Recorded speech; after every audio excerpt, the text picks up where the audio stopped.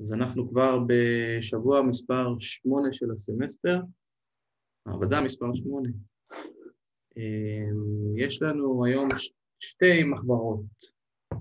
אחת אה, היא בעצם אה, מדברת על איוולואציה של אה, מודלים רגרסיביים, כלומר כל המודלים שראינו עכשיו, ה-SLR וה-MLR שראינו שבוע שעבר, נעשה לו גם איוולואציה, כלומר נגיד סוף סוף האם הוא טוב, לא טוב, האם קיבלנו את ה...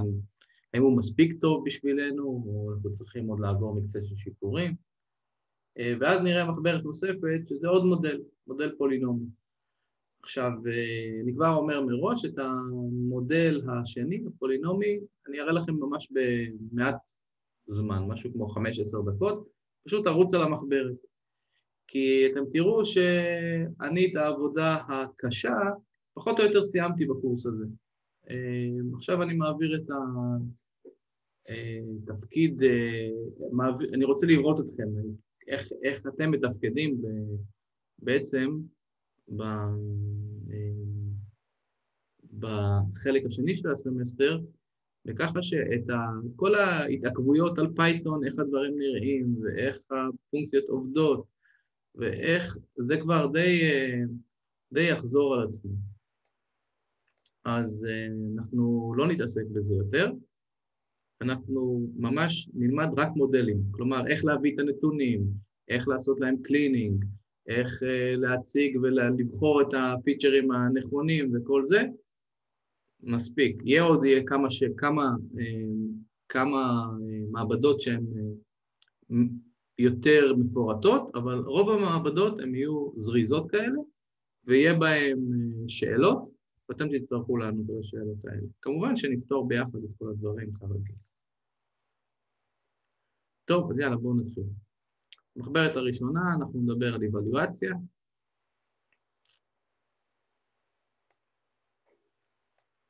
אז פייל, uh, save a copy in drive.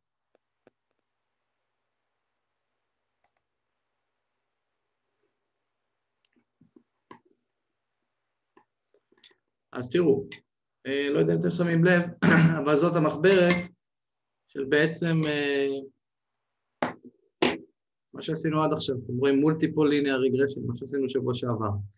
אז מה שאני אמרתי, אה, הבטחתי לכם בשבוע שעבר, שאנחנו נעשה את התרגיל מהמחברת הזאת, אז כולם יכולים פשוט ללחוץ על exercise בצד שמאל, זה ייקח אותנו לתרגיל, ובזמן שאנחנו נעשה את התרגיל, או אחרי שנעשה את התרגיל, אנחנו נמשיך לאבולואציה. בסדר? אז התרגיל יהיה מין חזרה על החומר, חזרה על, על מולטיפול ליניאר רגרשן, ואחרי זה נעצור ונחזור לעשות את הנושא של. של השבוע, שזה בעצם איוולואציה. עכשיו,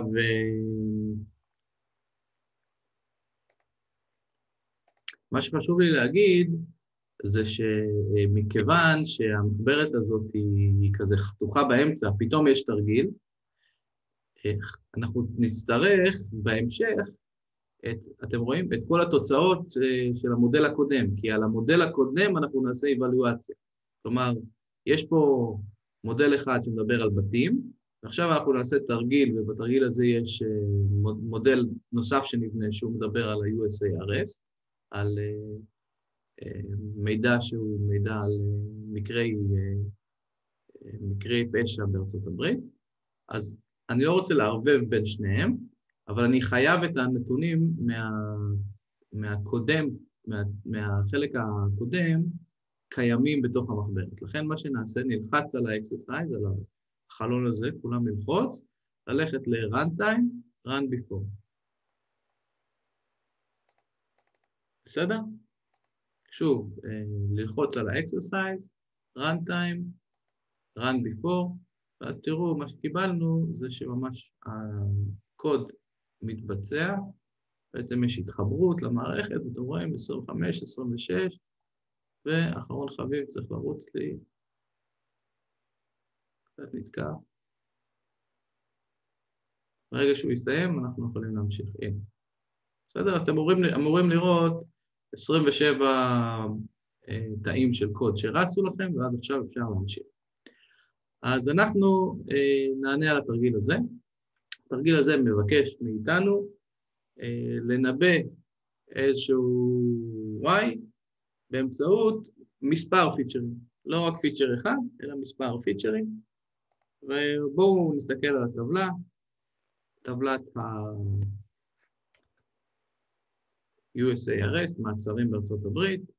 אנחנו כבר עבדנו על הטבלה הזאת קודם, יש פה בסך הכל 50 שורות, שורה עבור כל מדינה, מספר מקרי המצח, הרצח ל-100,000 איש, מספר מקרי התקיפה ל-100,000 איש, מספר מקרי האונס ל-100,000 איש ואחוז האוכלוסייה שגר באזורים אורבניים. אנחנו רוצים למצוא איזשהו, איזשהו קשר בין המשתנים, קורלציה בין המשתנים, כדי לנבא את המרדר. אז נראה מי המשתנים האחרים שיכולים אה, לנבא לנו את המרדר. בסך הכל יש לנו 1, 2, 3, 4, 5, חמישה חמישה, חמש עמודות, מתוכם אנחנו נבחר שתיים. בסדר? שתיים ש... שתיים, כלומר, ארבע אפשרות. מתוך ארבע אני צריך לבחור שניים, כי אחד מהם זה המרדר. טוב, בואו נסתכל קצת על הטבלה הזאת, ניתן לה... קצת לכתוב קוד. אה, rsdf.info, אז יש לנו, אמרנו 50 שורות, 5 עמודות, אין לנו נאנים. אמ, בואו קצת אה, נריץ describe, אה, נסתכל קצת על סטטיסטיקות. מבחינת describe יש לנו מספר ממוצע של אה, מקרי רצח 7.78, כאשר הכי גבוה 17, הכי נמוך 0.8 ל-100,000 איש, סטיית התקן היא יחסית גבוהה, אתם רואים? 4.35, כלומר החלוקה היא מאוד שונה בין מדינה למדינה. גם מספר, אני רואה שכמעט בהכל ה-standard deviation מאוד מאוד גבוה, אז זה המצב שלי כרגע בטבלה הזאת. מבחינת מקרי תקיפה, 170 בממוצע ל-100 אלף איש, סטיית התקן 83, גם לא מעט, מינימום 45, מקסימום 337. נאנים אין לנו, אפשר אה, לבדוק זאת, rsdf נקודה is, is null, אמרנו אה, תראו, אם אין, אם אין לנו, אז אפשר לעשות sum על הטבלה המלאה, וגם פה נקבל, נקבל אפס. אמ, אוי, רציתי את זה על ה describe. נקודה sum פה, אז נקבל אפס עבור כל אחת מהעמודות. בסדר? אה, יאללה, בואו נענה לשאלה הבאה. האם יש צורך ב scaling ל data set הזה? בואו תסתכלו עליו, מה אתם אומרים? כבר ענינו האמת על השאלה הזאת, זו לא פעם ראשונה. לא חייבים. במקרה הזה לא, אבל הש... התשובה צריכה להיות מלאה, למה לא? אה, כי בסך הכל יש לך פה במינימום ערכים שהם באחדות ובמקסימום במאות, אין פה איזה הפרש מטורף בין הקנה מידה. נכון, אז באמת זאת הסיבה הראשונה, שהערכים הם בסך הכל באותו scale, פחות או יותר. דבר שני, ה scale עצמו, המספרים הם לא גבוהים. גם כשזה באותו סקייל, אז זה לא במאות אלפים או במיליונים. ואם זה היה במספרים מאוד גדולים, אז יש פה מכפלות, ואתם זוכרים את כל הנוסחאות האלה, הם מעלים בחזקה ומחברים, מחברים, מחברים, אני, אמור, אני עלול לקבל overflow. אז זה הסיכון. במקרה הזה ספציפית, יש לי בסך הכל גם טבלה מאוד מאוד קטנה. אז גם אם אני אעשה המון חיבורים והמון חזקות, זה בסך הכל 50 שורות. אז אין לי כל כך מה לדאוג.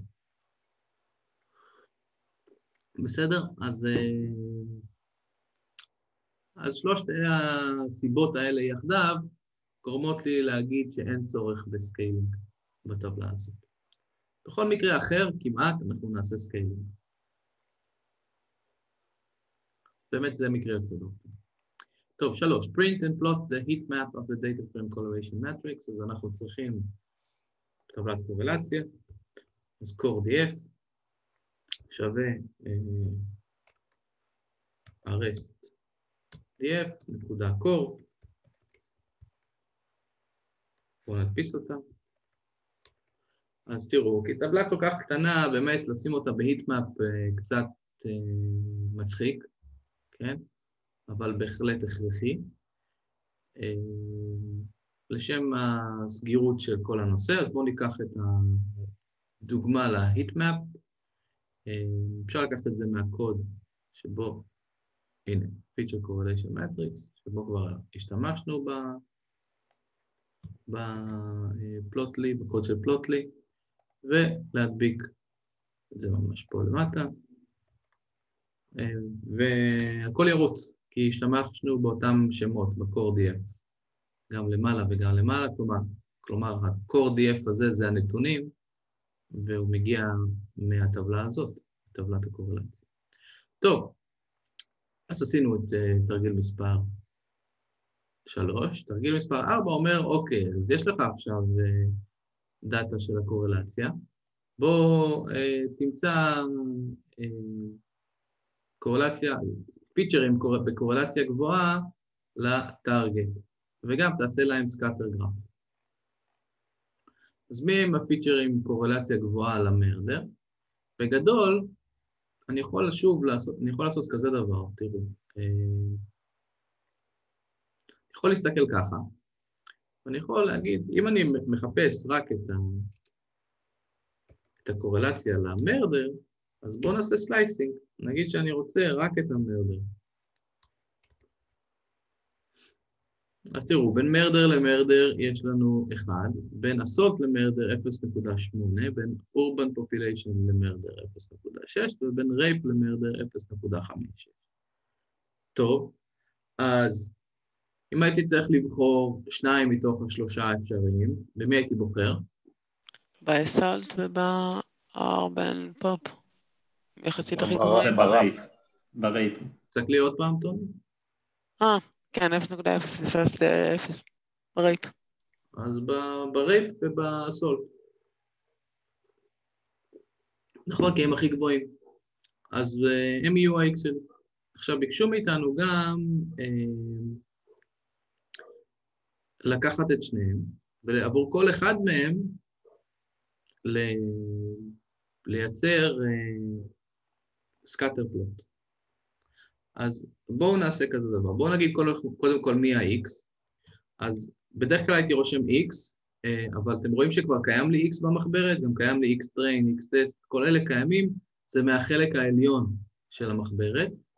מכיוון שהתרגיל הזה הוא על דאטה אחר, אני אפריד, אני אגיד שבעצם אנחנו עונים על שאלה, ולכן אה, אני אקרא ל-X שלי X1. אז x1 זה יהיה ה-rest, ה-rest df, כאשר אני אכניס את הסולט ואת הרייפ.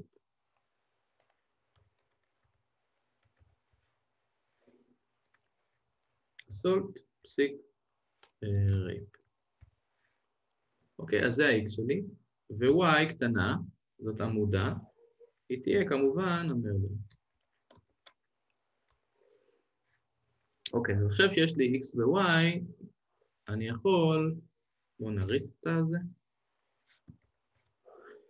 נוסיף עוד קצת טעים, אז אני יכול ללכת לקוד שמסרטט לנו את הגרף עבור, את הסקאטר פלוט עבור כל אחד מה, מהעמודות. והנה זה הקוד הזה, אתם רואים שעשה את זה עבור, עבור הקוד הקודם, עבור החלק העליון של הטבלה. אז אה, תראו, זה, זה מה שאתם מתבקשים לעשות, אתם לא אמורים להמציא כל דבר מחדש, אתם אמורים, אתם אמורים לעשות התאמות, וזה בסדר. נגיד אני יודע שיש לי רק ארבעה צבעים, אז להבין שכתוב פה ארבעה צבעים, זהירות. אה, אולי אם תעשו יותר מזה, אתם תקבלו איזו שגיאה, אז תתקנו אותה, תכניסו עוד צבעים, תסדרו, תייצרו איזה צבעים רנדומליים, מה שבא לכם, אבל כרגע יש לנו שני פיצ'רים, אז אין לי צורך ב... בשלוש שורות, שורה אחת מספיק ושתי עמודות. אתם רואים, אני בסך הכל עושה התאמות. עכשיו, x הוא כבר לא x, אלא x1, אז זה x1 column, ה-y הוא y1, ה count אותו count, הנה x1 column, x1 column count, טוב, וזה כבר לא price by features, אלא זה ה-murder. בואו נראה אם לא שכחתי כלום. את הצבעים, לא? אתה לא צריך למחוק או שזה לא משנה? אז אה, שיהיה גם 400 צבעים, הוא ישתמש רק בשניים, רק בבלו ובגרין. אוקיי. יותר לא, לא עושה לי בלאגן, פחות יעשה לי בלאגן, עושה לי שגיאה. טוב, יופי, אז קיבלתי אה, שני פיצ'רים, ובואו נראה באמת למה בחרנו דווקא בשני הפיצ'רים האלה. כי עבור כל אחד מהם, אני אקח את האפשרות פה לעשות קו ישר, ניקח אותו בצבע אדום גם. באמת אני רואה שיש פה איזה תבנית אה, או איזה... אפשר להעביר בהחלט איזה מודל ליניארי. אוקיי, אז פה יש שגיאות רבות, ככל שעולים במקרה ה-rate, מקרה האונס, יש יותר שגיאות. פה יחסית השגיאות הן אחידות, לא משנה באיזה, באיזה מהו מספר מקרי התקיפה. מקרה המצ... הרצח אה, פחות או יותר אה, באותו טווח שגיאה. אבל בהחלט אני רואה מודל ליניארי, כלומר, לא רואה איזה מודל משהו רנדומלי, סתם ככה או סתם ככה, זה לא מתאים. יש לי משהו אחד, ברור, ולכן יש קורלציה יחסית גבוהה בין הפיצ'רים האלה ל-Y שלי, למרדר. אז יופי, אז זה אומר לי שאני בכיוון הנכון. בסדר, זה כל המטרה של השרטוט פה, לא, לא, אמור, לא אמורים לקבל תובנות נוספות, חוץ מרק להגיד, אוקיי, יופי, ככה זה נראה, אנחנו בכיוון הנכון.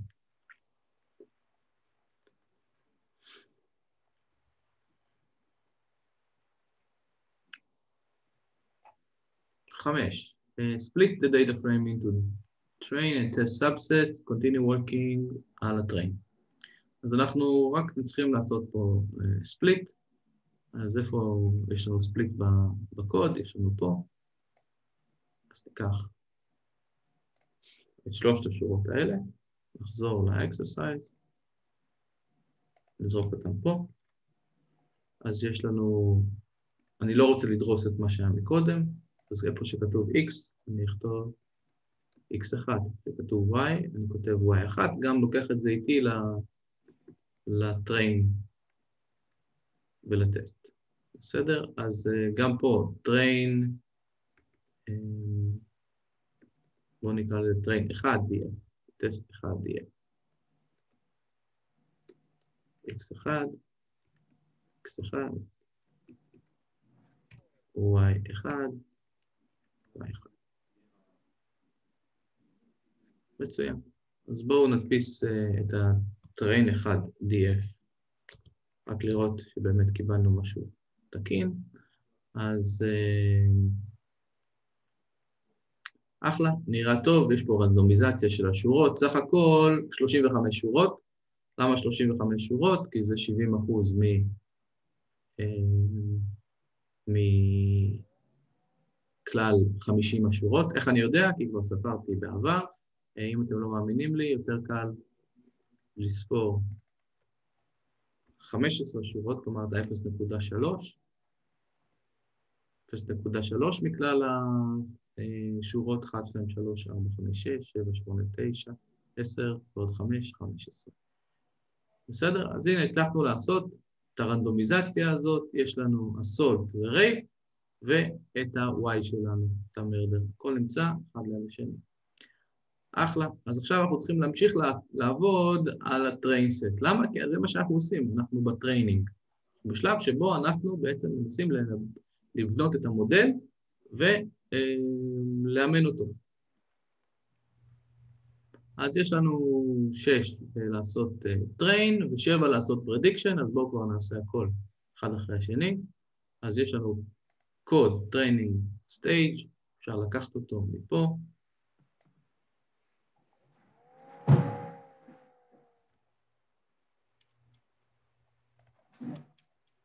נזרוק אותו פה. אני לא אהרוס את מה שיש לי כרגע. אני עדיין צריך מודל linear regression חדש, נקרא לו LM1. אמ, עכשיו, אנחנו לא עשינו scaling, אז יש לנו x1 train ו-y1 train. coefficient, אנחנו נוריד את זה, כי יש לנו רק אחד, ו intercept ככה, יופי. בואו רק נשנה פה, זה כבר לא פרייס, אלא זה מרדר.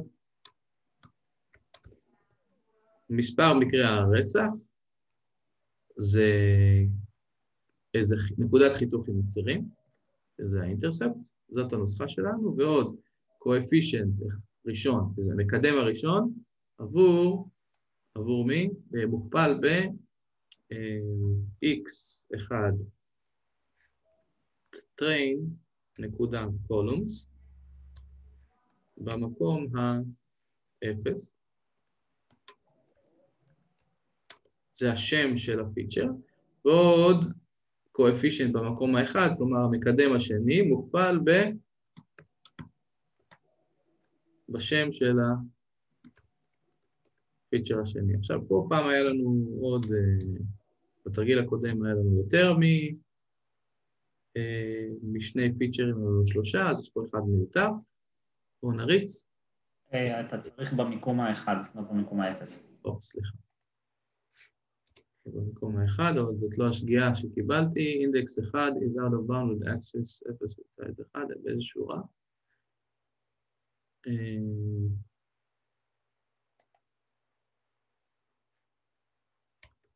איזה שורה זה נתן לי את זה. קואפישנט, אה, אז קואפישנט, אתם רואים, זה, זה החזיר לי אה, רשימה בתוך רשימה, אתם רואים? זה מרובעים בתוך מרובעים. אז אני אעשה כזה דבר, קואפישנט במקום האפס, ועכשיו הכל בסדר. טוב, צריך לראות מה הפונקציה הזאת מחזירה בדיוק, ואז אה, להבין שהיא מחזירה מערך דו-ממדי, אז מבחינתי מערך דו-ממדי מיותר כרגע, אני רק רוצה את השורה הראשונה מהמערך הזה. אז קיבלנו, אה, אה, זאת הסיבה, כי לא שמתי פה LM1.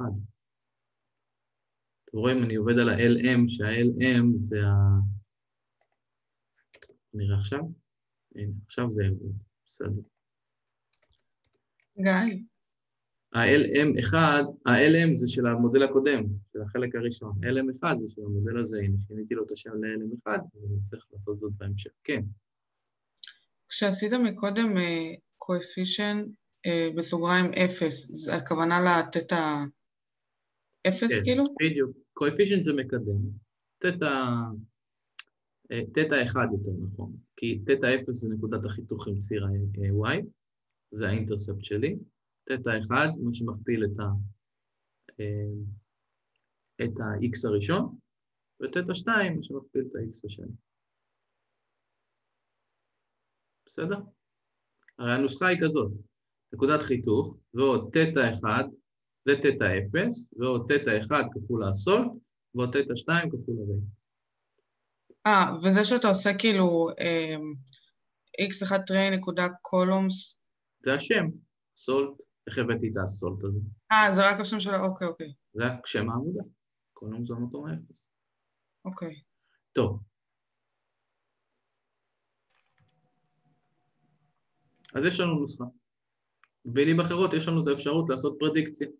אז בואו נעשה פרדיקציה. נפעיל את המודל כך שהוא ינבא לנו את, ה... אמ, את, את מקרה הרצח, אז אני פשוט אקח את הקוד ואעתיק אותו לפה. אז uh, predicted train murder, מספר מקרי הרצח, כן? זה lm1.predict x train 1. כלומר, אני נותן, נותן את כל ה-x train, ואני מקבל את כל ה-y.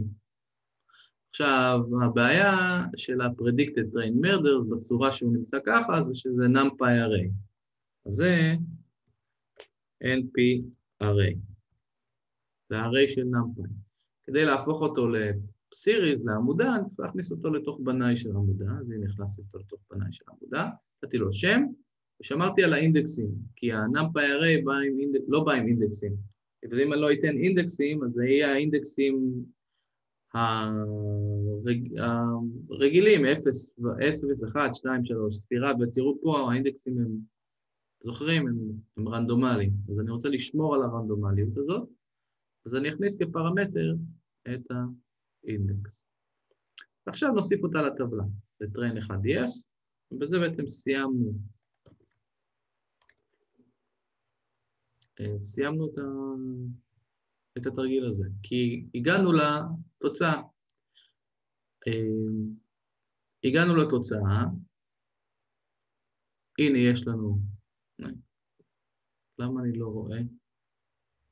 אה, אולי לא הרצתי, בסדר. אז הנה, עכשיו הגענו לתוצאה.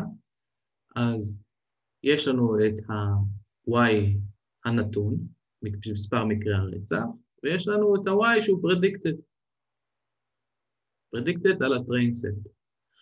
עכשיו, בואו נחשוב אם אנחנו יכולים לקחת את הטבלה הזאת ל-next level. מה זה אומר ל-next level? זה אומר שזוכרים שתסתכלו פה על השאלה איפה שהדבר שלי עכשיו. Can we plot the linear model? זוכרים מה ענינו שבוע שעבר? שאי אפשר, אבל עכשיו כן אפשר. מעולה. קודם כל, למה לא היה אפשר? כי היה לך ארבעה או חמישה ממדים, ופה יש לך רק שתיים, פלוס ציר ה-y שלך זה כאילו שלושה ממדים. נכון, אז, אז בואו בוא נסביר את זה קצת יותר לאט. אז תראו, כל, כל פיצ'ר הוא מימד. מה זה אומר כל פיצ'ר הוא מימד? אני אנסה, אני אשרטט לכם.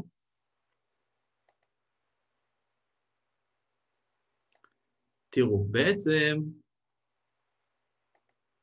אם אני אומר כזה דבר, כל פיצ'ר הוא מימד, אז יש לי כמובן את ה-y שלי.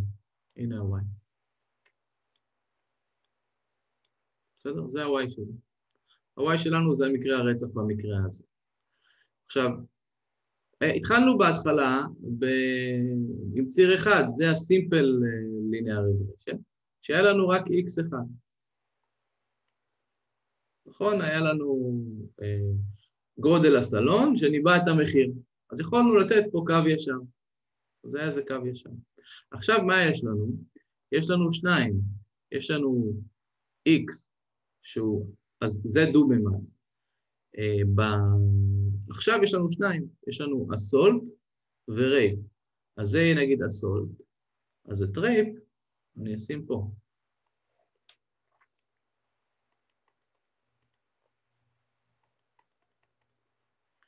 ואז זה יהיה, בואו נגיד, בואו נגיד ככה, שזה x. עכשיו אני חייב לכתוב, אני אקח את זה, אז זה יהיה x0 וזה יהיה x1. או במילים אחרות x0, x1, וזה ה-y. עכשיו זה y נתון לי, זה y a האקטואלי או הנתון, וזה y, אופס, וזה y כובע. מה זה y כובע? זה ה-y שאותו ניבא המודל.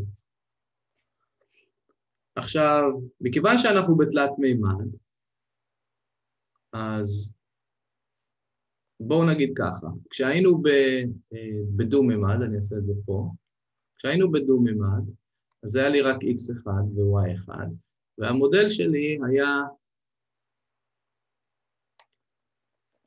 קו ישר, נכון? הוא היה איזה קו כזה, כאשר הנקודות שלי, או הסקאטר, היה תמיד אה, נראה כמו איזה משהו ליניארי, היה כזה. עכשיו, הנקודות שלי הן במרחב, הן לא על דו-מימד, הן בתלת מימד, כלומר, הן מפוזרות באיזושהי צורה. נגיד כזאת. אז מה אני צריך, איך, אז איך המודל שלי ייראה? תראו, לכל נקודה, נגיד הנקודה הזאת, אז יש לה, יש לה x, יש לה y, ויש לה גם, אה, נגיד פה, איזה x0. בסדר? אז כל נקודה יש לה x1, x0 ו-y. יש לה, יש לה שלוש קואורדינטות. פה יש רק שני קואורדינטות, יש לה x ו-y. אז איך ייראה המודל במרחב הזה? אם פה הוא קו ישר, מה אני אעשה? אני אשרטט קו ישר? לא יהיה. קו ישר הוא יחתוך לי מרחב תלת-ממדי? לא. זה מרובע, זה...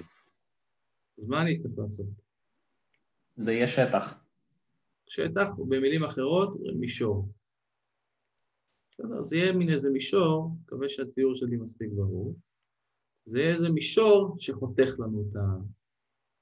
את הקו הישר הזה, בסדר? מישור. אה, זה מישור שחותך לנו את המרחב הזה, את התלת מימד. זה כמו שעכשיו, אה, אני אגיד, שנייה,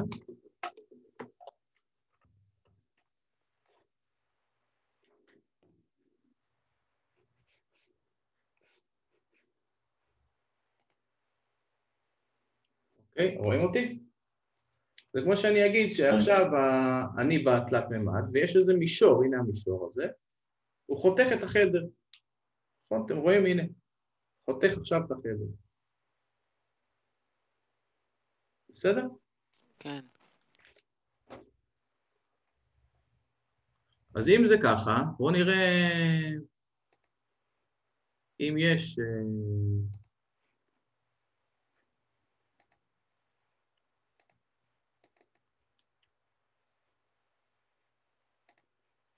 קוד, ואנחנו עכשיו אני אקח את הקוד ואני אראה לכם, שממש מצייר לנו את המישור הזה. זה לא בדיוק יהיה מישור, אתם תראו עוד רגע מה, איך זה ייראה.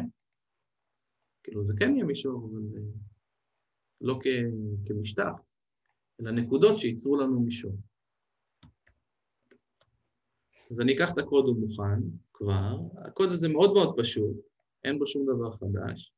פשוט אה, ההבדל בין אה, לצייר משהו שהוא תלת, לצייר scatter שהוא בדו-ממד לבין לצייר scatter שהוא בתלת-ממד, אז זה פשוט להשתמש ב scatter 3D ולתת לו x ו-y ו-z. ה-z זה יהיה כאילו הציר, מה שאנחנו ציירנו אותו כ-y, וה-x וה-y הם יהיו כאילו ה-x1 וה-x0. ברגע שאני אריץ את הקוד הזה, אתם תראו שבירוק אני נתתי את הנקודות נתונות לנו, כלומר את, ה, את מקרה ה, הרצח הנתונים, ובאדום את מקרי הרצח שנובעו על ידי המודל. תראו מה קיבלנו, ממש גרף תלת מימד, אני יכול להזיז אותו, הנה פלוט לי. עכשיו אתם שואלים איזה מרחב ואיזה בטיח, אז בואו נסתכל שנייה. תראו מה קורה כשאני מסתכל בזווית מסוימת. רואים מה אני מקבל? הנה הדף נייר הזה שחותך את, ה, את המישור, חותך את המרחב, הנה הוא גם מהצד הזה, והנה הוא גם מהצד הזה.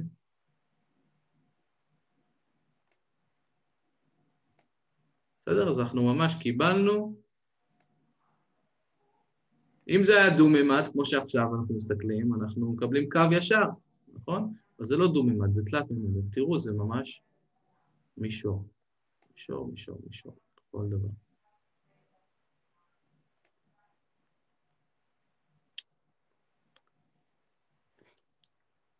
אז אה, מקווה שזה עזר ככה להבין יותר איך מודלים נבנים ומה אה, אנחנו גם למדים פה, שמה שעשינו בדו-ממד, השלכנו על אותו, אותו, אותו דבר על תלת-ממד, ומקודם ראינו על ארבעה ממדים, זה בחלק העליון של, ה, של המחברת, וככה היה נעשה בכל מימד אחר.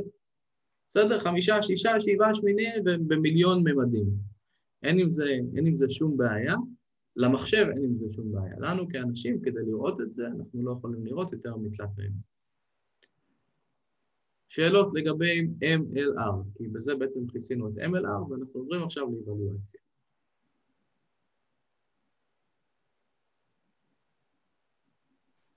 לי שלא. וואלה, כיפק. אז יאללה, בואו נמשיך לאיוולואציה. אז ככה, מה שחשוב להבין, אה, בראש ובראשונה, למה אנחנו לומדים את הנושא הזה, אז אה, צריך לתת איזשהו מדד שיגיד לנו כמה, כמה אנחנו בכיוון בכלל, כמה אנחנו טובים, או כמה טוב המודל שלנו בלנבא את, ה, את המצב המצוי כרגע, את, ה, את, ה, את הנתונים שהוא אף פעם לא ראה, כלומר את המציאות. ואיפה יש לנו מין תת מציאות כזאת קטנה, או נתונים שאף פעם המודל לא ראה, זה הטסט סט. אז מה שאנחנו נעשה עכשיו בשלב הזה, זה נכיר למודל בפעם הראשונה את הטסט סט. כלומר, כל השלבים הקודמים זה שלבים שאני יכול לעשות להם כמה, כמה ש, שאני רוצה שיפורים. אני אשפר יותר ויותר ויותר ויותר ויותר ויותר. בסדר? אני אגיע לאיזה מודל שיותר טוב. אני אוסיף feature, אני אוריד feature. אני אעשה, אה, אה, יוריד אאוטליירים, יוסיף אאוטליירים. אני אגיע, אנסה להגיע למודל כמה שיותר דומה למציאות מבחינתי, אבל אני לעולם לא אבחן אותו. עכשיו, בפעם הראשונה, אני אבחן את המודל. למה רק עכשיו? דיברנו על זה כדי לא לבצע מה שנקרא overfitting, לא להכיר למודל את התוצאה, ואז אה, המודל יהיה טוב רק על נתונים שהוא ראה, ולא יהיה טוב על נתונים אמיתיים. לכן אנחנו מבחינתנו לא נחשוף למודל את הטסט עד הרגע הזה. והרגע הזה זה רגע המבחן, רגע האבליואציה. אז מה אנחנו עושים באבליואציה? אנחנו מריצים סט של קריטריונים או מדדים שנקראות מטריקס, לא, לא מטריצות, לא מטריקס, אלא מטריקות. מטריקות מדדים. אה, שלושה מדדים אנחנו נכיר לכם היום. אז דבר ראשון, מה שאני אעשה זה אה, נעשה prediction על הטסט סט. בסדר? וזה הקוד הזה, אין לי מה להראות לכם יותר מדי, כבר ראינו איך הקוד הזה עובד. זה בסך הכל אם עכשיו אנחנו לוקחים את הטסט TF, כמו שעשיתי ל train DF, שהוספתי לו עוד עמודה, והעמודה הזאת זה התוצאה של הניבוי של המודל, אז הפעם אני אעשה זאת בפעם הראשונה, סוף סוף, על ה test set, על ה-30 אחוז. כלומר, את זה אני אעשה, אני אעשה אחרי שעשיתי מיליון פעם, או כמה שצריך, על ה training. כלומר, על ה training אני עושה שוב ושוב ושוב, מנסה להגיע לאיזה מודל שנראה לי שהוא מודל טוב, עד כדי כך שהגיע הזמן לבדוק אותו. עכשיו שאני בא לבדוק אותו, אני מריץ את ה-prediction עליו. אני עושה predict, אתם רואים? על אותו מודל, על ה-LM. מביא לו את הטסט. אחלה. אז עכשיו אני עושה cut רגע, תזכרו מה, איפה עצרנו, ואני רוצה להראות לכם משהו שהוא אה, מה שנקרא מודל כמעט מושלם. למה אני עושה את זה? כי אני רוצה שיהיה לכם איזה נקודת ייחוס. בסדר? אני רוצה להראות לכם, כאילו, איך אתם תדעו מה זה משהו טוב, אם אף פעם לא תראו אחד טוב. זה כמו שאני אגיד לכם, אה, זה הרכב המושלם, ובלי להראות לכם את הרכב, נכון? כל אחד והרכב המושלם שלו. ונגיד ואני מאוד אוהב אה, מרצדסים, אז כל עוד אני לא יודע מה זה מרצדס, אז אני לא יודע שאני יודע מה זה מושלם. אז אני רוצה להראות לכם מה זה מושלם. עכשיו, אחרי שאמרתי את זה, אני אגיד שכזה דבר לא קיים במציאות. בסדר? אני יוצר אותו באופן מלאכותי. אם היה אחד כזה, אז הייתי לוקח אותו ומראה לכם אותו. לא קיים אחד כזה, אה, לפחות לא שאני מכיר, או, או לא אחד שהוא ממש בנאלי, כאילו, אז מה שאני עושה עכשיו זה אני יוצר בעצמי דאטה. בסדר, אני יוצר בעזרת פונקציות של רנדום ופונקציות של נמפאי, אני מייצר עשר מספרים רנדומליים, אה, אלף מספרים רנדומליים, מכפיל אותם בעשר. הם, הם בטווח 0 עד 10 לא כולל, אז הם עכשיו בטווח 0 עד 10, בטווח 0 עד 1 לא כולל, אז הם עכשיו בטווח 0 עד 10 לא כולל. אז זה ה-x'ים שלי. ה-y'ים זה ה-x'ים מוכפלים בשלוש. אל תדאגו, תראו הכל עוד רגע בגרף וזה יעזור לכם, וגם הוספתי איזה רעש. לכל אחד הוספתי מספר בין 0 ל-1. בואו נסתכל מה קיבלנו. זו טבלה שקוראים לה near perfect df, כן, near p df. אז תראו, ה-x'ים הם מספרים מ-0 עד 10, אתם רואים? רנדומלי, וה-y'ים הם שלוש פעמים x ועוד איזה מספר בין 0 ל-1 שהוא גרל רנדומלי. אז 5.4 כפול 3 זה בערך 16.2, ועוד קצת רעש, קיבלתי 16.36. וכן הלאה וכן הלאה. אז זאת הטבלה שלי. ברור לכם שהיא מיוצרת בצורה ארטיפישיאלית, כלומר אה, באופן אה, מלאכותי. אני לא, לא לקחתי את הנתונים האלה משום מקום. עושה להם טסט, אה, טסט וטריין, חלוקה, מקבל את החלוקה כמו שעשינו עד עכשיו, 70-30, מייצר עבורם מודל ומקבל אה, את, ה... את הנוסחה שלהם. אז בואו תסתכלו. בואו ננסה להסביר למה המודל הזה הוא מתאים לדאטה, עוד מלפני אפילו ש... אה, ששרטטתי לכם אותו. אז תראו מה אני מקבל, נקודת חיתוך עם ציר ה... נקודת חיתוך עם ציר ה-y, 0.07, והשיפוע, 2.98, כפול דאטה, כפול ה-x שלי. האם זה מתאים לטבלה פה? זה מאוד הגיוני, כי y הוא בדיוק שלוש פעמים x. כן, כי y הוא כמעט שלוש פעמים x, כי יש גם רעש, נכון? אז הנה, תראו, y הוא 2.98 כפול ה-x, ה-x זה, זה, הדאטה הזה. ונקודת חיתוך עם ציר ה-y קרובה ל-0, 0.07. אז אם הייתי מצייר גרף, אני לא אעשה את זה כי עוד רגע נראה אותו, אז זה היה גרף אה, עם שיפוע של 3, ונקודת חיתוך 0 עם ציר ה-y. טוב, אז בואו נעשה פרדיקציה גם, אה, פרדיקציה על, המודל הזה, גם לטריין וגם לזה. ועכשיו הגיע הזמן לשרטט אותו, אז בואו נסתכל איך הוא נראה. זה המודל שלי, ובחייכם, אין מודל שהוא יותר לינארי מהמודל הזה, מסכימים איתי? תראו, אה, הנה כל ה-X'ים שלי, הם מפוזרים, הם תמיד בפי שלוש מה... אה, כל X, ה-Y שלו הוא פי שלוש ממנו, תראו, שתיים, אז הנה, אתם רואים, אני בערך ב-2, 1.96, אז ה-y הוא 6.22. כלומר, אני אה, תמיד שומר על יחס של 3, פי 3. אבל יש קצת רעש, קצת למעלה, אתם רואים קצת למטה, יש קצת רעש, ו... אה, ולכן המודל לא יכול לעבור על כל הנקודות ב-100%, אבל הוא מתאר לי בצורה הטובה ביותר את הדאטה. אחלה. אז כזה שרטוט לא ראינו אף פעם. מסכימים איתי? נכון? אין שום, אין סיכוי שראינו. למה עשינו את זה? כדי שיהיה לנו איזה משהו שהוא כמעט מושלם, בשביל שנוכל לקבל נקודת ייחוס, נוכל להגיד, לדבר על משהו בהשוואה למודל שלנו.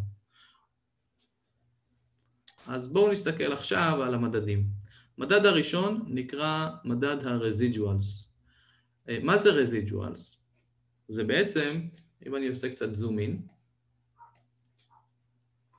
אני גם אוציא, אני, אני אוציא את הטרו שלי שוב. מה אתה בודק עכשיו? אני, אני שנייה, אני כבר אומר הכל. אנחנו נדבר על, על אחד. אתם רואים פה מתוד אחד, רזידואל. עכשיו אני מכיר לכם שלושה מדדים. המדד הראשון, שייתן לי הבנה של כמה טוב, uh, טוב, או כמה רע, או כמה, איך, איך המודל שלי, מה, מה האיכויות שלו, זה נקרא אה, מדד ההפרשים, או השארית. בעצם, מה עכשיו אני קורא? מה עכשיו קורה, או מה הניתוח שאני הולך לעשות? אני הולך להסתכל על כל נקודה, כל אחת מהנקודות, לא משנה איזה, אני הולך לייצר כזה גרף. והגרף הזה יגיד אה, הערכים שלי, כלומר הנקודות האלה. אה, אז בואו נגיד שזה ה... אני לא ארשום את הציר, אבל בואו נגיד ככה. בואו נגיד עבור הנקודה הזאת. אמ, הנקודה הזאת שהערך שלה הוא אמ, בסביבות עשר. שנייה אחת, אני רוצה לראות שאני לא... כן. תראו, אתם רואים את הערך הזה, נגיד הנקודה הזאת, עשר, נכון? זה הערך שלה, הערך של ה-y שלה, אז אני רושם פה y מ-0, מה הערכים של ה-y? מ-0 עד בערך 20. אז ב-10 תהיה לי נקודה. עכשיו, מה, מה ההפרש בין, מבין המחיר שניבא המודל לנקודה הזאת? נגיד וזה זאת. אז יש פה הפרש של זה פחות זה. בערך, אה, בוא נגיד שפה אני בערך ב-12, אז נגיד 2. אז אני אשים פה את הנקודה 2, ואני אגיד שההפרש, או הטעות שיש לי, נכון? או השארית שיש לי מבין המודל, המודל לנקודה עצמה הוא 2. בואו נסתכל על עוד נקודה, או על עוד נקודה. נקודה הזאת, הנה פה, נגיד, הערך שלה מבחינת ה-y הוא בוא נגיד 14, אז היא תהיה פה, 14. אבל הפעם ההפרש, אם אני עושה זה, הקו האדום פחות הנקודה, אז אני במינוס 2. נכון? כי אני מסתכל הפוך בכיוון. אני תמיד עושה המודל פחות הנקודה. אז המודל הוא 12, והנקודה היא 14, ולכן אני במינוס 2. אז נשים פה מינוס 2, ואז יהיה לי פה, פה נקודה. אתם מבינים? עכשיו בואו נסתכל שנייה על הנקודה הזאת, פה, שהיא בערך ב-13. מה ההפרש בינה לבין המודל?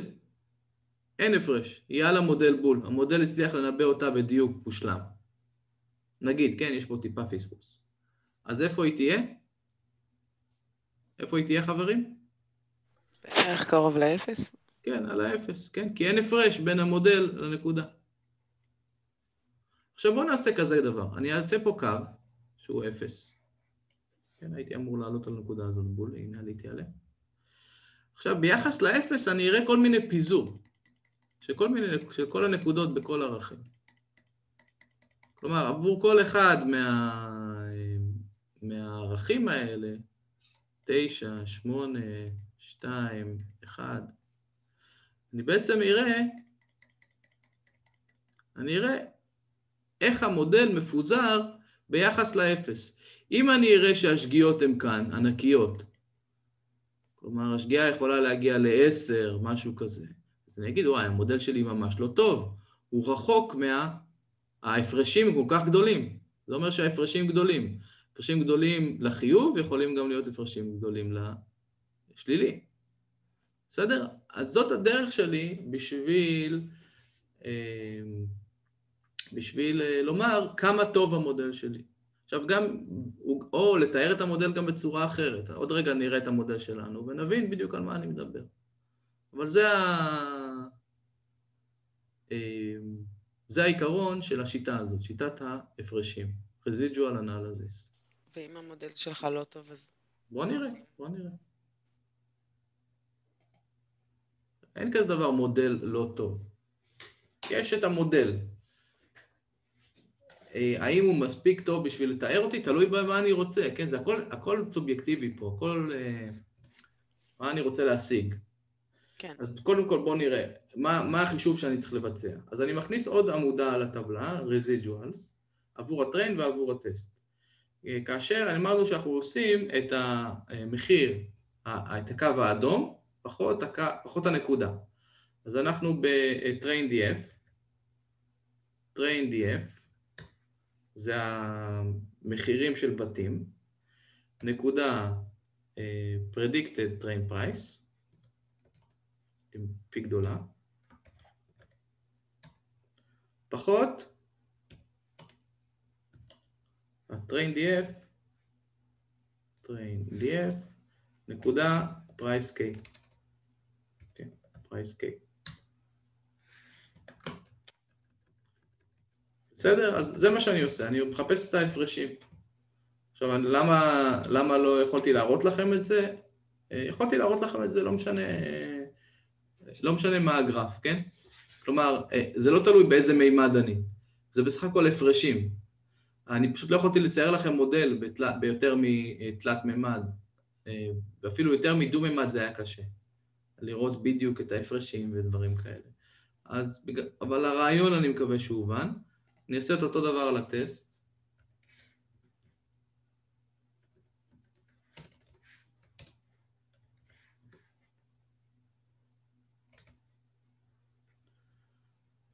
אה, סליחה, פה צריך גם טסט.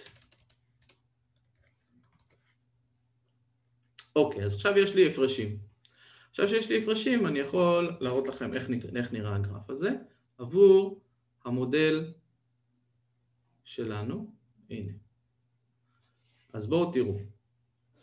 זה קו האפס, והנה ההפרשים.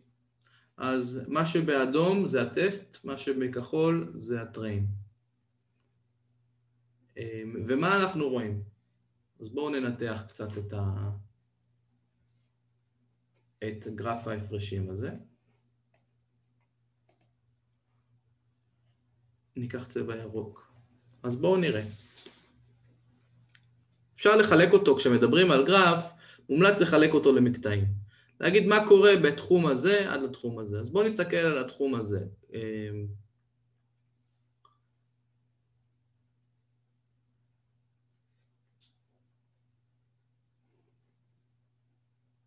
אז כאשר אני רואה שאנחנו מדברים על טווח נמוך, בואו נגיד עד לפה בערך.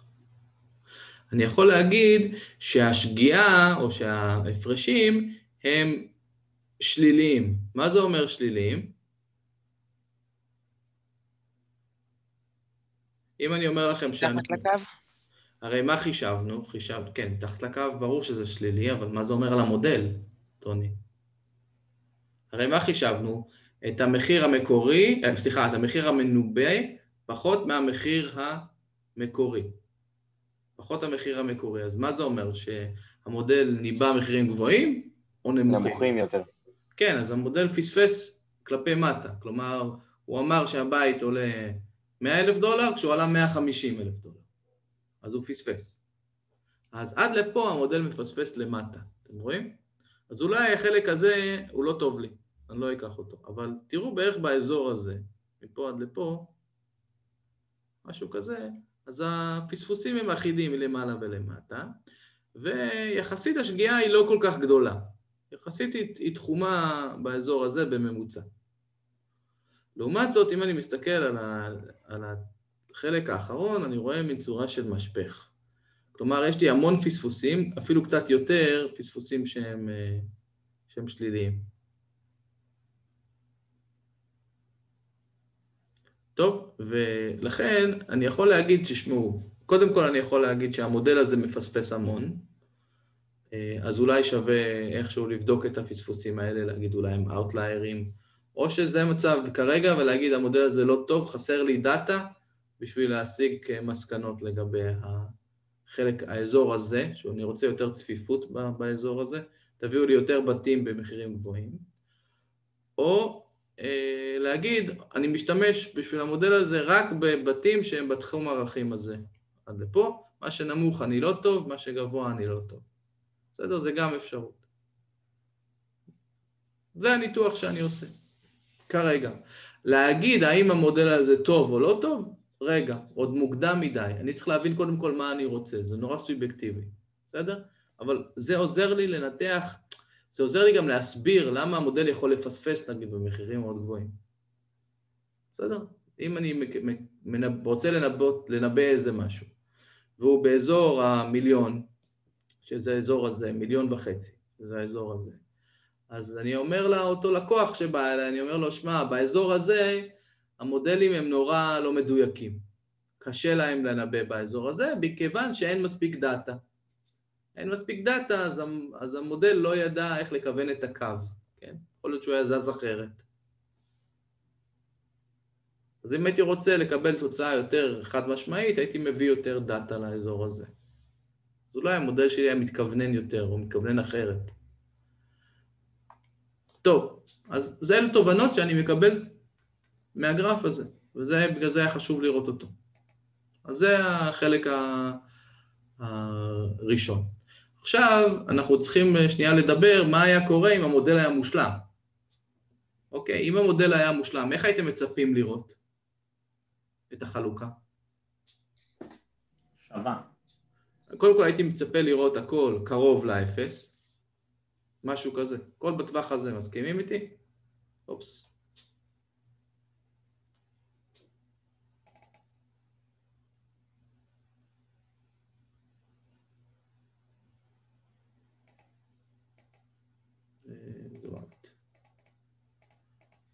טוב, הייתי מצפה לראות הכל קרוב לאפס, בטווחים האלה, בטווחים של הקרוב לאפס, ממש קרוב לאפס, והייתי מצפה לראות גם חלוקה אחידה, משהו כזה.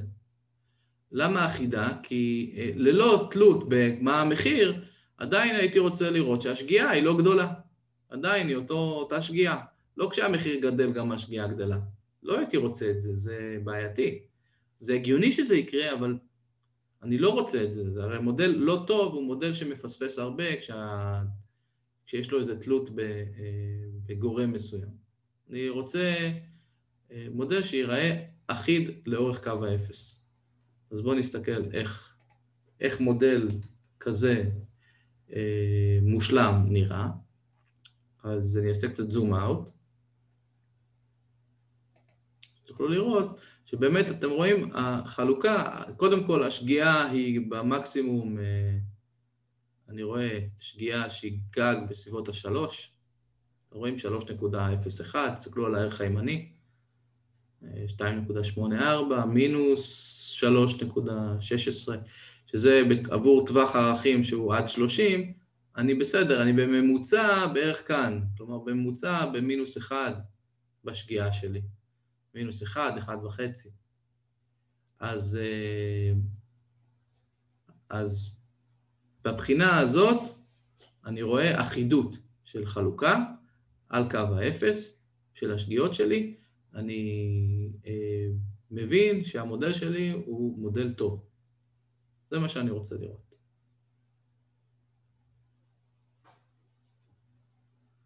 אחלה.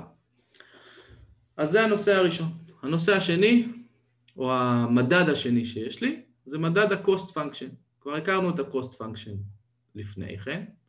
cost function זה בעצם הפונקציה שמודדת לי את ההפרשים, את אותם הפרשים, זה בעצם ה-y פחות yi, זה מה שעשינו עכשיו, כן? אנחנו עשינו yi פחות i, אבל זה בערך מוחלט, אז זה לא משנה. אבל פה לוקחים את הממוצע שלהם, אתם רואים את הממוצע, את החלקי n. אז ממוצע השגיאות בערך מוחלט, נקרא מין אבסולוט ארור. אני יכול גם, כדי להיפטר מהסימן, לעלות בריבוע ואז להגיד אה, ממוצע השגיאות הריבועיות, זה ה-MSE. ואני יכול גם לשים שורש על ה-MSE ולקבל את שורש ממוצע השגיאות הריבועיות.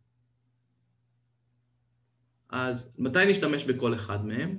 אז שימו לב מה קורה כשיש לי איזשהו Outlier. אם יש לי Outlier על גרף, אם יש לי גרף ויש לי פה את המודל, נגיד הוא נראה ככה, ויש לי איזה out, או שרוב הנתונים הם נמצאים סביב המודל, ואיזה outlier שיש לי פה, אז אם אני אשתמש ב, אה, אה, בריבוע שלו, אני אקח את הנתון הזה ואני אני אעשה לו ממנו בריבוע, כלומר אני אוסיף את הסכום הריבועי שלו לממוצע, ההשפעה שלו תהיה ממש גדולה.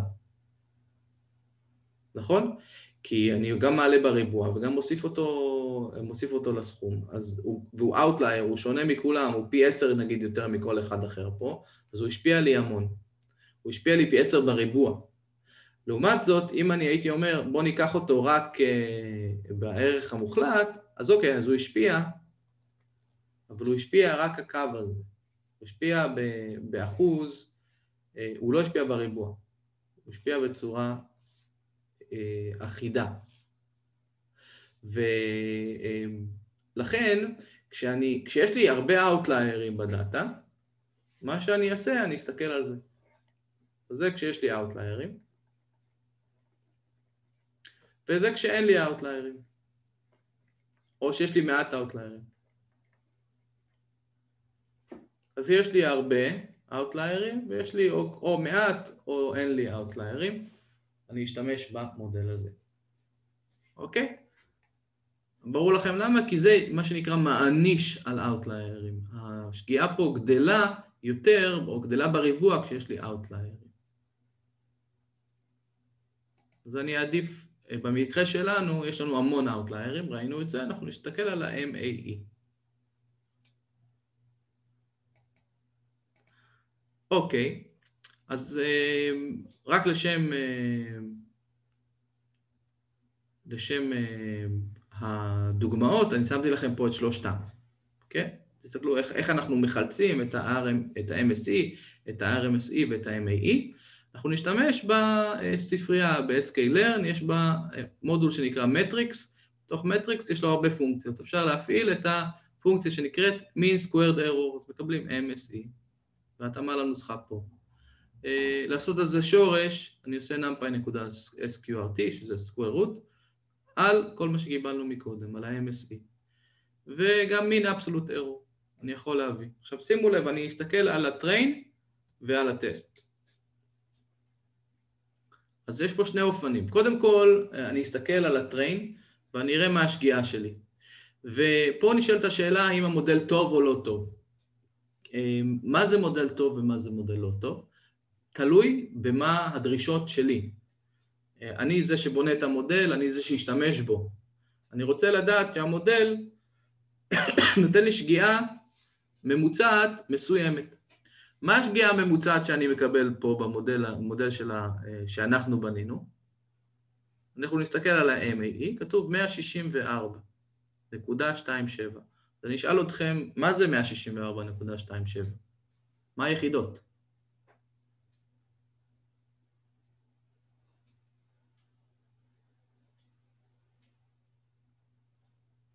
מה זה, סתם מספר?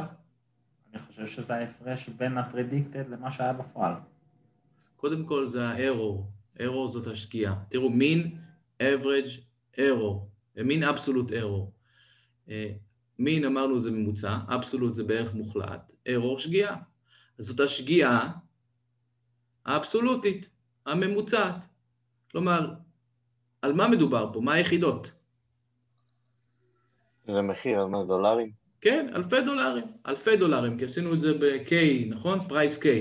אז זה מדובר על ה-Y, חברים. אני רוצה לנבא את ה-Y, אז כמה אני רחוק מ... בממוצע מהמחיר האמיתי? בממוצע אני רחוק ב... 164 אלף דולר. כן? 164 אלף דולר. האם זה משהו שאני יכול לחיות איתו? נראה לי שאם הבית הוא שווה 300 אלף דולר, ואני אומר לכם שהשגיאה הממוצעת היא 164, לא תסמכו על המודל הזה, נכון? כי אתם יכול, עלולים לשלם אה, פי, פי, פי אחד וחצי, 450 במקום 300, אם תסמכו על המודל הזה. אבל אם הבית שווה מיליון, או מיליונים, אז יכול להיות ש-164 הוא בשבילכם כסף קטן. יכולים לחיות עם זה. אז פה נכנס העניין של האם המודל טוב או לא טוב, זו תשובה סובייקטיבית, צריך להבין למה הוא טוב. יכול להיות שהוא טוב לדברים מסוימים, לא טוב לדברים אחרים. באופן כללי, אם אני בא להגיד האם הוא טוב על כל הנתונים, אז לא. הוא לא טוב על כל הנתונים, ואפשר להגיד כי במחירים נמוכים של בתים, כמו 200, 300, יש פה שגיאה שהיא מעל, אה, מעל 50% מערך הבית. זה לא הגיוני. בסדר? אז הנה פה כבר קיבלנו תשובה. אה, עכשיו נסתכל על ההפרש בין הטריין לטסט. שימו לב מה קורה פה. יש לי אה, נתונים, אה, 164 על הטריין, זה ה-MAE, אני מסתכל רק על ה-MAE, וה-MAE של הטסט הוא יותר גרוע, הוא קרוב ל-200, 197. מה זה אומר? שבטסט היה ערכי קיצון יותר? לא, אתה, אתה מדבר איתי על הנתונים בטסט, הנתונים בטסט לא מעניינים אותי. אני מדבר על המודל. פה שימו לב, המטריקות אומרים לנו כמה המודל טוב, אני עושה אבלואציה למודל, לא לנתונים. הנתונים זה העולם האמיתי. מה אני יכול להגיד על המודל? אם אני, אם אני אומר לכם ככה, אתם אה, חושבים שלמדתם טוב למבחן, אבל ניגשתם למבחן, במקום לקבל 100 קיבלתם 80. מה זה אומר?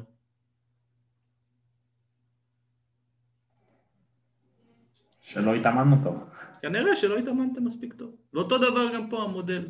אז המודל הוא לא מספיק טוב. הוא לא מספיק טוב עבור... כי אם היה מספיק טוב, אז אם הייתי מקבל 100 למעלה, הייתי מצפה לראות 100 למטה גם. כלומר, גם בטריין וגם בטסט. אז יכול להיות שחסר לי דאטה. זו אפשרות ראשונה. יכול להיות גם הפוך, יכול להיות, אה, אה, וצריך לעשות בדיקות נוספות, ואנחנו נראה איך עושים את זה בהמשך, יכול להיות שהמודל אה, הזה הוא טוב רק על מידע שהוא, כלומר, הוא הגיע לתוצאה ממש טובה, נגיד 164 זה הכי טוב שלו שיכול להיות, אבל רק על טסט, על, על הטריינסט. ברגע שאני מביא לו נתונים חיצוניים, הוא לא מספיק טוב. אז מה, ש, מה שאפשר להגיד זה שהמודל הזה מתאים אה, רק, או הותאם רק על הטריין בצורה טובה, או שהוא יתאם יותר מדי טוב על הטריין ופחות מדי טוב על העולם האמיתי, וזה נקרא overfitting. כאילו, הוא כבר עשה יותר מדי אימונים. הוא כבר יותר מדי מותאם אה, למידע של ה train. ואז הוא מפספס את העולם האמיתי. אל תדאגו, עוד נסתכל על overfitting אה, בקרוב, שוב, וזה יסדר לכם את הראש. טוב, אז עכשיו שאנחנו יודעים איך המספרים, אה, איך, איך המספרים נראים במודל שהוא לא טוב, בסדר? אה, במודל טוב, שוב, זה רק בשביל לתת לנו איזושהי אינדיקציה. תראו, השגיאה הממוצעת במספרים שהם מ-0 עד 30, 0.76, בסדר? או 0.92 ב-MSC. כשאין לנו ארטליירים במודל הזה, אז אני אסתכל על ה-MSC, או על ה-RMSC, 0.95. כלומר, יש לי פספוסים בממוצעים של 1. אה, ובאמת ראינו את הגרף עם שגיאות אה, של פחות או יותר בגודל 1. אה, שימו לב עכשיו לטריין מול הטסט. אנחנו רואים אותם מספרים. אתם רואים 0.77,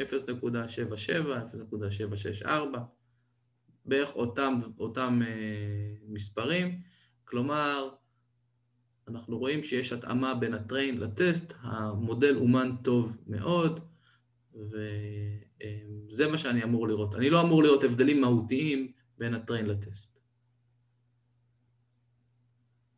כי אם הוא יתאמן טוב, אז הוא גם יעבוד על הטסט טוב. בסדר? הוא יעבור את המבחן בצורה טובה. ואני אמור לראות אותם נתונים. אחלה, אז זה השגיאה. אמ, אלה בעצם המדדים של השגיאות. עכשיו נדבר על ה-R squared. R squared אה, זה בעצם מה שנקרא הפרופורציה של ה-variance. אנחנו, בואו נסתכל שנייה על, ה, על הנוסחה הזאת. אז יש פה אחד פחות סכומים האלה. בואו נדבר על הסכומים רגע. אני אקח שוב את הטאטו שלי, ונסתכל רגע על, על גרף כזה. אז תראו, בואו נגיד אה, שזה המודל שלי, טוב, ויש לי פה את הנתונים. בואו ניקח צבע אחר. הנה הנתונים.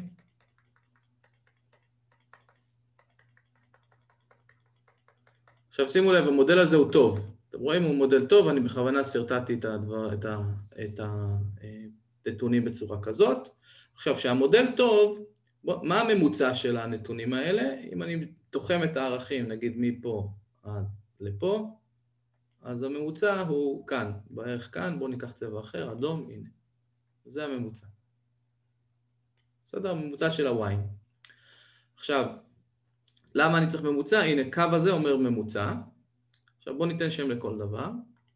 אז Y זה הציר הזה, כל הנקודות הירוקות פה זה ה-Y'ים,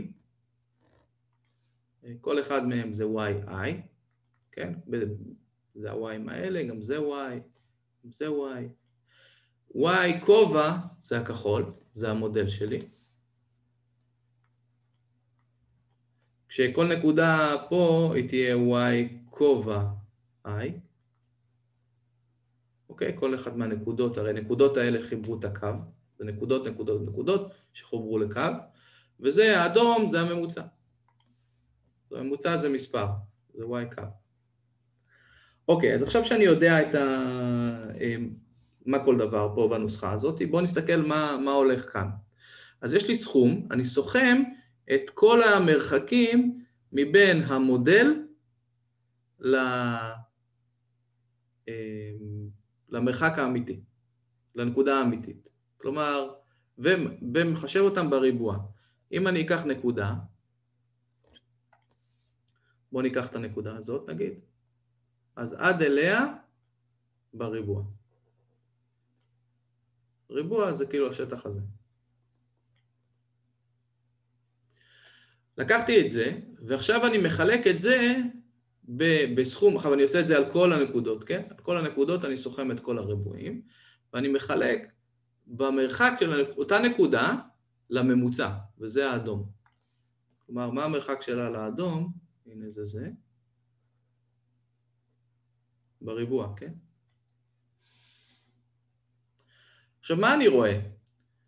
בואו תשימו לב, אין נקודה אין נקודה שיותר קרובה אה, ל... אם אני מסתכל, נגיד על הנקודה הזאת אפילו, תראו, המרחק לריבוע הזה, המרחק לממוצע הוא כזה, ואילו המרחק ל... למודל הוא יותר קטן. כלומר, כל המרחקים למודל יותר קטנים מהמרחקים לממוצע. לכן, מה אני אקבל? פה מספר קטן, פה מספר קטן, ופה מספר גדול. כלומר, מה אני אקבל? שבר קטן מאוד, כלומר כל השבר הזה שואף לאפס. ואז אני מבין שכשהמודל הוא טוב, מה זה 1 פחות 0? כל זה שואף ל-1. כלומר, r בריבוע, r סקוויר, שהוא שואף לאחד, כמה שיותר קרוב לאחד, אומר לי מה? אומר לי שהמודל... המודל מסביר טוב. בצורה טובה. כן, המודל מסביר בצורה טובה את הנתונים. עכשיו בואו נסתכל הפוך. מה זה אומר הפוך? זה אומר שעכשיו אני לוקח את המודל, נעיף את כל האלה, ואני אגיד שהמודל שלי הוא כזה. איזה צבע היה מודל? כחול. המודל שלי הוא כזה. האם הוא מסביר את הנתונים? לא, נכון, הנתונים הולכים ככה והוא מסביר ככה. בואו ניקח דוגמה. אה, בואו נעשה את החלק העליון. אז תראו, אז הפעם, כל נתון שאני אבחר, נגיד זה, הריבוע שלו יהיה כזה, ואילו המרחק ממנו ל... ממוצע. לאמצע,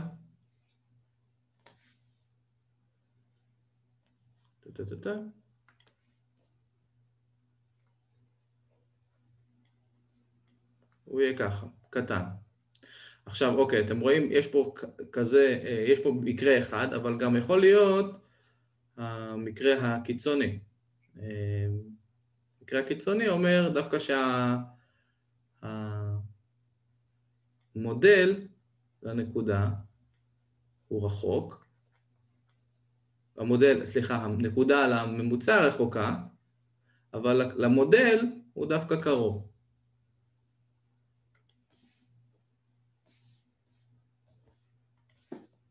דווקא קרוב, זה איזה ריבוע קטן פה למטה. כלומר, יש נקודות שיותר קרובות למודל ויש נקודות שיותר קרובות לממוצע. אבל בגדול, אני אף פעם לא אקבל איזה, איזה אה, מספר שהוא, אה, שהוא שואף לאפס. מה שיקרה זה שדווקא הפעם השבר הזה, פה יהיה, פה יהיה גדול.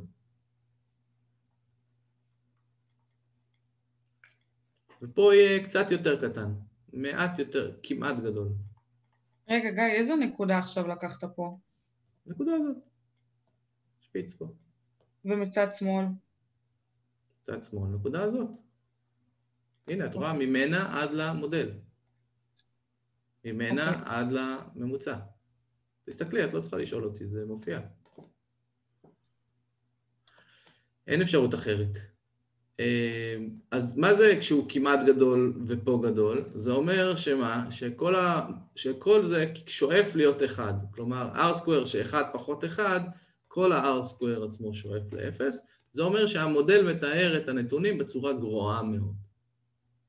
אז אחד זה מצוין, אחד זה מצוין, אפס זה לא טוב. בואו נראה איך המודל שלנו מתפקד. נריץ שתי השורות האלה. אז תראו, אנחנו נריץ את זה גם על הטריין וגם על הטסט. אז אנחנו רואים שהמודל מתאר את, ה...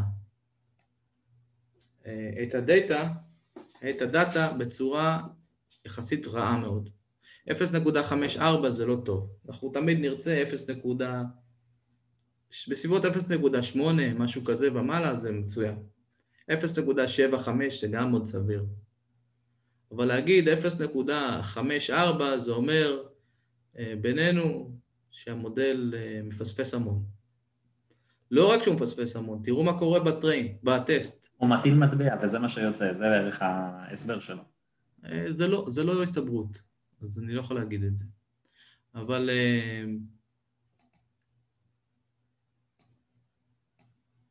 אבל אני רואה שהציון של ה-R square על ה... הטסט סט הוא עוד יותר גרוע מאשר הטריין סט. כלומר, כשאני בא עוד לבחון אותו בעולם האמיתי, הוא נכשל לגמרי. ולכן אני יכול להגיד שהמודל הזה לא טוב. איך ייראה מודל טוב? אתם שואלים את עצמכם.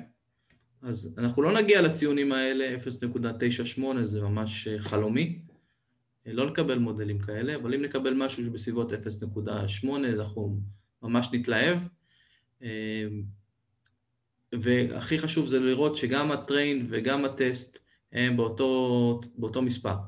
כלומר, האימון נעשה בצורה טובה, אחידה, בצורה מלאה, לא פספסנו שום דבר, והמודל שלי הוא באמת מודל שעובד גם על, ה, על הנתונים האמיתיים מהעולם האמיתי. בסדר? אז הנה שלושה מדדים שיחד נותנים לנו תמונה איך המודל שלנו מתנהג.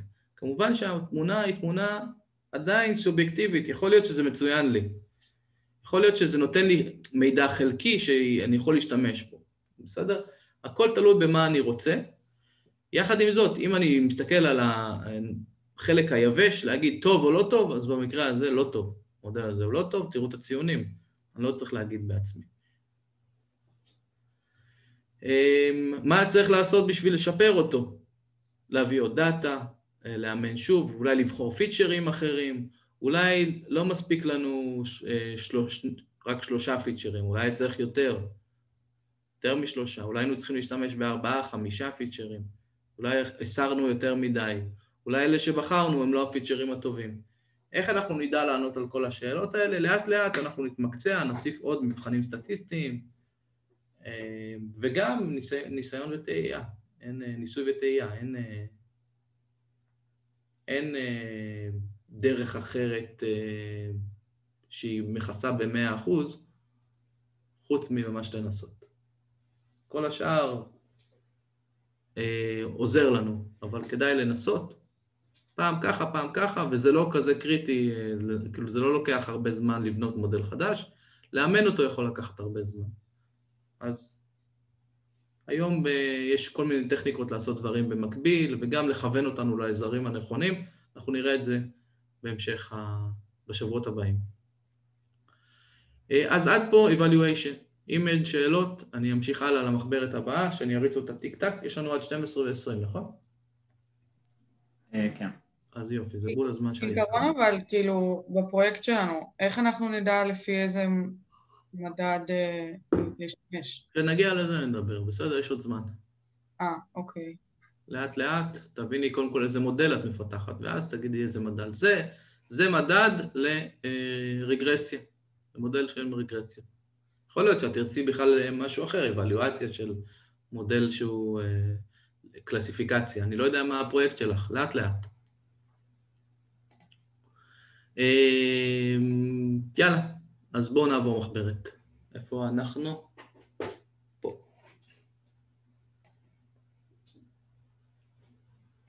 אז אנחנו במחברת נוספת, פולינומיאל לינל רגרשן.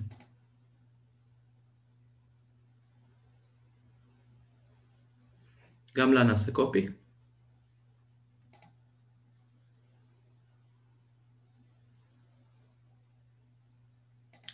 עכשיו תראו, הקצב הולך להיות הקצב של הכמעט, כן? אני לא רוצה להפחיד אתכם, אבל הקצב יהיה ככה בדברים שכבר ראינו.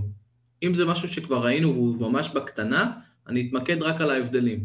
אני לא, אני אדפדף את כל מה שכבר עשינו. אנחנו לא נריץ גם את המחברת הזאת עד הסוף, כי שוב, זה דברים שכבר ראינו, עד אה, למקום שמחדש לנו, ובזה נעצור. מי שירצה אה, יוכל להשתמש במחברת הזאת לדוגמה, למודל שלו, לפרויקט שלו, או גם במטלת הבית, אה, שתוכלו לסיים אותה השבוע. אז תראו, על מה אנחנו מדברים? אנחנו מדברים על מודל נוסף. המודל הזה הוא פולינומיאל ליניאר רגרשן, כלומר, אם עד עכשיו היינו בקווים שהם קווים ישרים, קווים ליניאריים, הפעם אנחנו אה, נמשיך לתוך עולם שהוא לא, עולם העקומים. תראו איך הנוסחה נראית. אם הנוסחה הייתה x1, x2, הם היו אה, בחזקת 1, נכון? הפעם, שימו לב, יש לנו פתאום בריבוע. אז היום אנחנו נלמד על מודל שהוא פולינומיאל לינר רגרשן, אבל פשוט, כי יש בו רק משתנה אחד, אני יכול גם לעשות את זה עם מספר משתנים. זה תיקחו אתם, הלאה, זה לא כזה קריטי. זה באמת, אה, אין, אין הבדל בקוד, הוא פשוט, אה,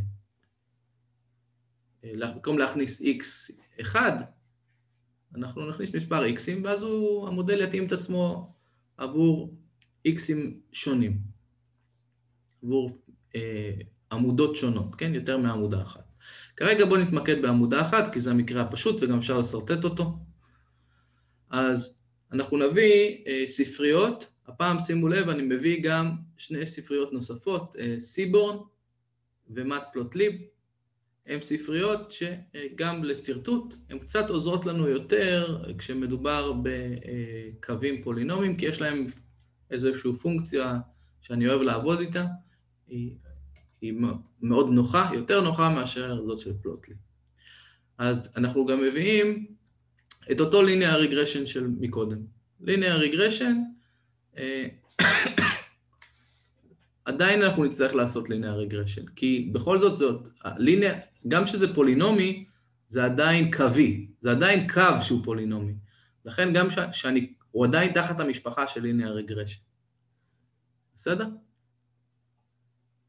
אז עדיין אנחנו מביאים את אותו ליניאר מודל, אתם רואים? הוא עדיין מודל ליניארי, אמנם, אמנם לינואר, אה, ליניארי, אבל ליניארי במעלה, באיזה חזקה מסוימת, כלומר כבר עקום.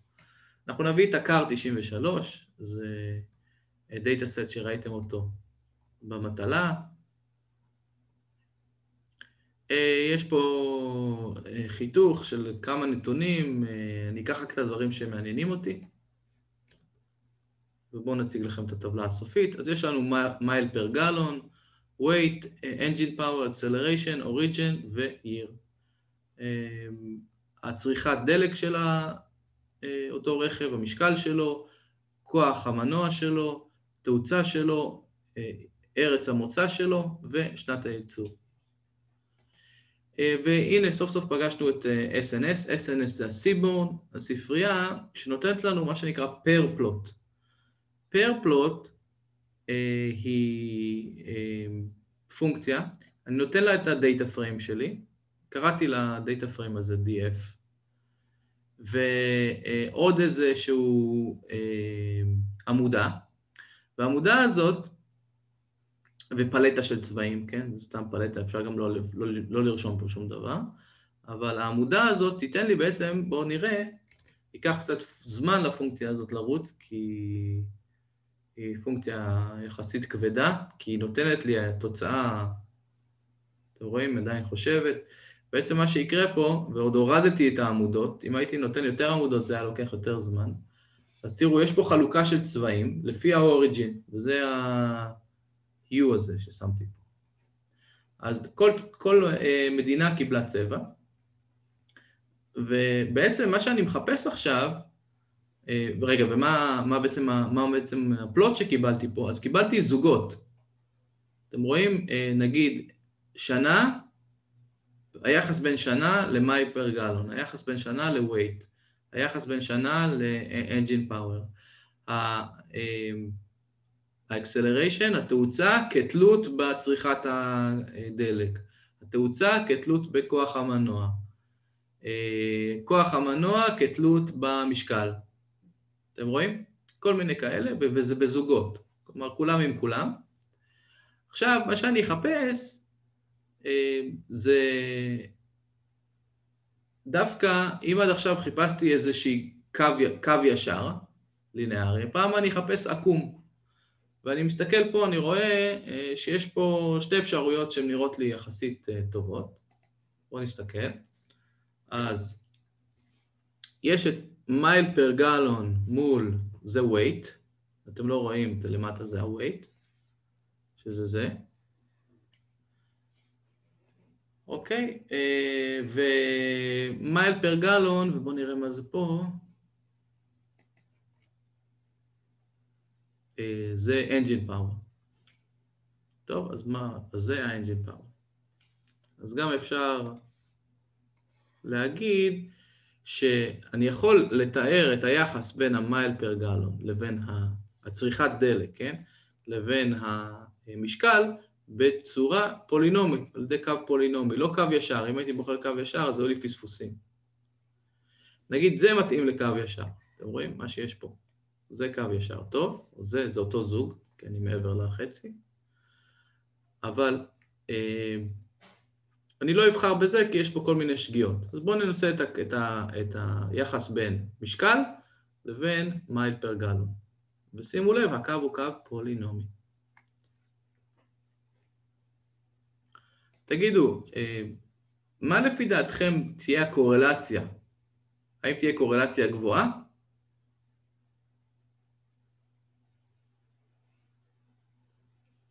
שימו לב, קורלציה מתארת לי יחס לינארי, כלומר כשאחד עולה גם השני עולה. כשזה יורד אז גם ההוא יורד. פה זה לא אותו דבר, נכון? כי, כי פה אין לי קו ישר, יש לי קו שהוא קו עקום. אז אני, הקורלציה מתייחסת לאיזשהו קו ישר. נגיד, פה אני רואה קו ישר. אז זה יהיה בקורלציה גבוהה. אז engine power מול uh, weight יהיה בקורלציה גבוהה, אבל weight מול אה, MP, MPG גם קורלציה גבוהה, כי עדיין אני יכול לתת פה קו ישר, אבל לא גבוהה כמו פה. בואו נדפיס את טבלת הקורלציה, שתבינו את ההבדל, כן?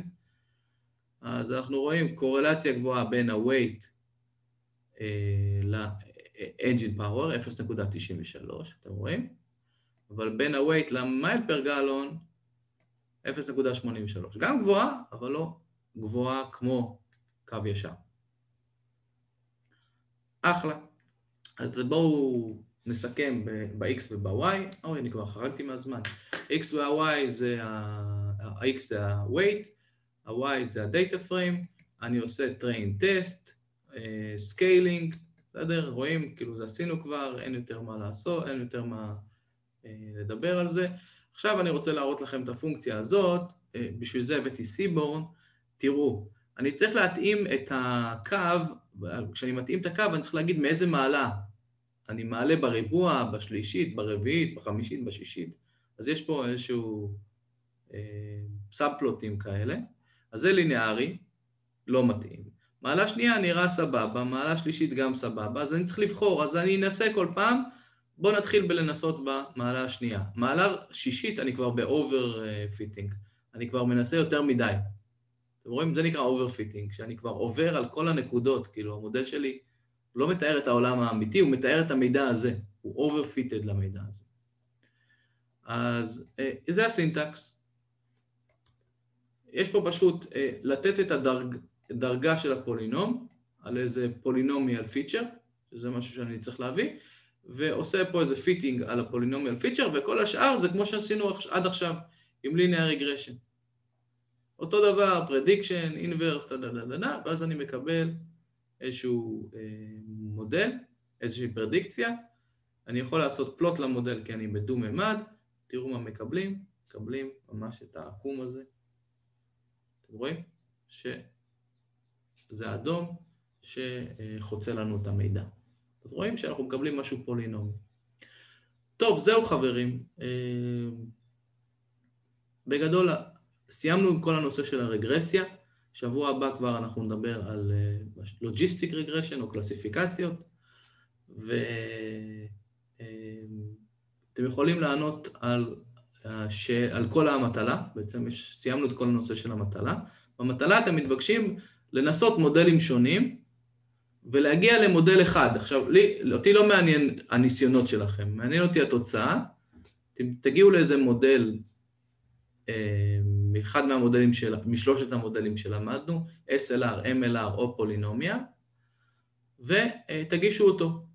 אתם מתבקשים להגיע ל-R squared לתוצאה שהיא טובה ב, כמו התוצאה שיש שם, שכתובה כבר ב, אה, ב, במחברת, או טובה יותר, בסדר? אם תגיעו קצת טיפה פחות, לא קריטי, אבל לא להגיע לאיזה 0.6 או זה, יש שם איזה 0.78 אני חושב, שזה מכובד מאוד, תנסו להגיע לזה. טוב חברים?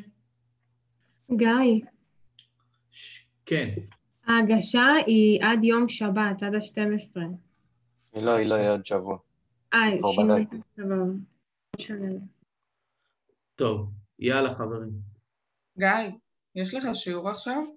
כאילו, יש לך כמה דקות או ש... יש לי שעות קבלה. אבל הבטחתי גם לתום ולדיינה עשר דקות, אז אני... אה, אוקיי, סבבה. אני אקבע את זה. תודה. טוב, בבקשה. אז תום דיינה תישארו, כל השאר אני נתראה בשבוע הבא, או בשעות הקבלה.